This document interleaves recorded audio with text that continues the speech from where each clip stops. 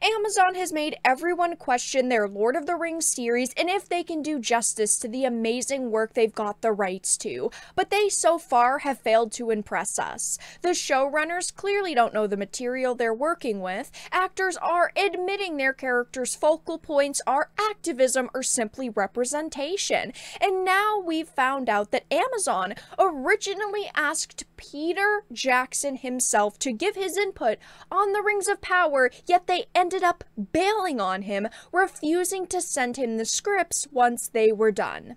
I have a bunch of things to show off, but before we get into the topic at hand, if you enjoy the content that I create, please make sure to subscribe to the channel and hit the notification bell. Follow me on social media like Twitter or Minds so that you can see when my content is posted. And of course, if you do really enjoy the videos and the live streams that I create, please consider becoming a Dark Titan via Patreon for just a dollar a month or support the channel via YouTube memberships. All of the links are in the description and of course I do really appreciate all of the support. So, this article says the Lord of the Rings director Peter Jackson reveals Amazon asked for his help on the Rings of Power, but then ignored him. They said they'd send over scripts and they never showed up.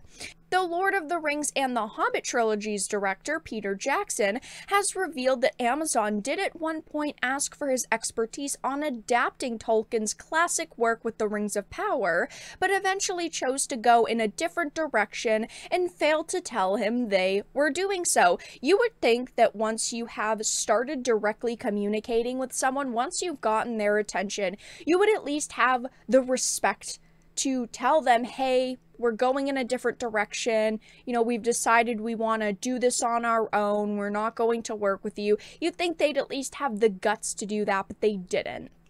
It says that Jackson revealed the backstory of his involvement with Amazon's upcoming series in a pair of recent podcast appearances. First appearing on the Hollywood Reporters Awards Chatter podcast, Jackson told the host, Scott Feinberg, that Amazon asked me if I wanted to be involved, and I said that's an impossible question to answer without seeing a script. So they said as soon as we get the first couple of scripts, we'll send them to you, and then the scripts never showed up. That's the last thing I heard, which is fine, no complaints at all. Now, over the years, people have had problems with Peter Jackson's movies simply because him and his team did stretch source material. Look at the Hobbit films. There should have only been two of them at most with the amount of material there was, and it was made into a full trilogy. And even things in the Lord of the Rings films weren't 100% accurate to source material, but he overall gave us amazing cinematic experiences, and a lot of people were very disappointed that he wasn't working on the Rings of Power. I didn't think it was going to be this large of a disaster when he wasn't a part of it, but now as we're close to release, the problems have piled up. To think that they would reach out to him and then blow him off is absolutely mind boggling. I just cannot believe that they would have the guts to turn down potentially working with Peter Jackson because now, of course, the Peter Jackson films are being directly compared to the Rings of Power, and they should have known this was going to happen. And of course, everyone is going, wow, the Peter Jackson movies seem way better. I mean, The Rings of Power hasn't released yet, so we can't fully judge the product, but as soon as it all is out, those direct comparisons are going to be flying around. And I think that people are going to still side with the Peter Jackson creations. It says later, joining THR writer Kim Masters on her The Business podcast, he reiterated about four or five years ago they asked if I would be interested in it. So I said, Have you got the scripts yet? Because I know how hard the scripts were to write for the films, and I didn't know the people writing the scripts. They said, Oh no, we haven't got the scripts yet, but as soon as we do, we'll send them to you. So I was waiting for the scripts to arrive, and they never did. Now, of course, he says that, Oh, it's really not that big of of a deal. He says, you know, that was the last thing I heard, which is fine, no complaints at all. He's trying to brush it off as it's really not that important. They didn't want to work with me at the end of the day, so it doesn't really matter to me. But I'm sure that he was probably a little bit ticked off at them. I mean, when you are someone the size of Peter Jackson and you've worked with the source material in the past, and suddenly a company reaches out and says, Hey, do you want to be part of this project? And then you end up bailing on them and you don't even respond to them or update them at all, yeah, I would feel a bit burned by that.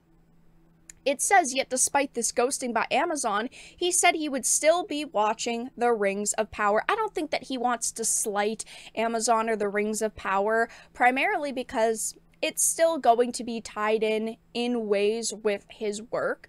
Um, because again, it's still the same universe. It's still a lot of the same characters, so he doesn't want to completely go against it.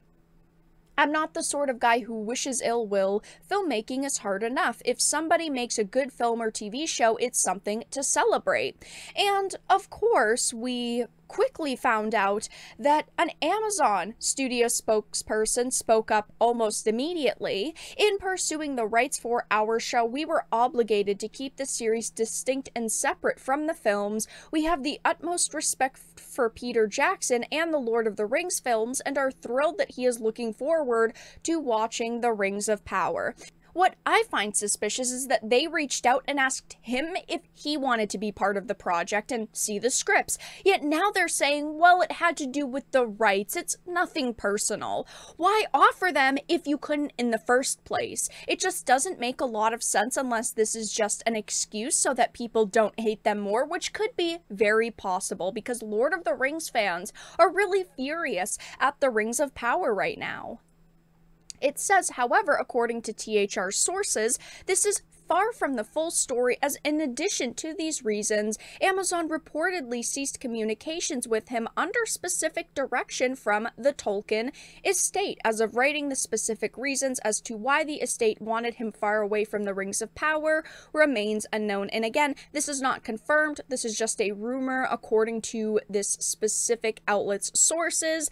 And if this is the case, yeah, I just don't I don't understand why. Maybe, again, because he didn't 100% follow source material with the previous movies, but at the same time, they are also not doing that in the Rings of Power. Maybe they expected Amazon to do a little bit better. Maybe they won't even want to work with Amazon again in the future and they will not be as cooperative as they were with this first season, but as of right now, that is just a rumor, but I just cannot believe that Amazon ghosted Peter Jackson. They had a chance to potentially work with him on the Rings of Power to be able to slap his name on this project to get his creative insight for this source material in this universe that he has worked with many times, and they begged him for his help and then just outright ignored him. But that's all that I really had to discuss in this video. Let everyone know your thoughts in the comment section down below. If you enjoyed, please make sure to give it a like, share it, and subscribe to the channel. And of course, if you didn't, make sure to give it a dislike. I appreciate your support either way, but I will talk to you all again in the next video really soon.